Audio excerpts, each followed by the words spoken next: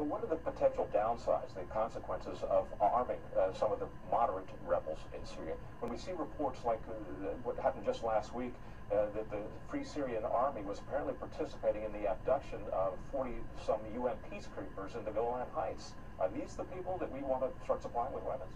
Well, uh, two different things in the Ukraine and in Syria. Uh, Syria, we backed, I believe, in some cases, some of the wrong people, and uh, not in the right part Free Syrian Army. That's a little confusing to people. So uh, I've always maintained, to go back quite some time, that we were backing the wrong types.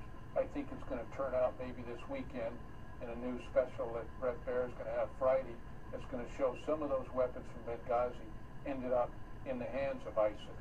So we helped build ISIS. Now there's a danger there, and I, I'm with you.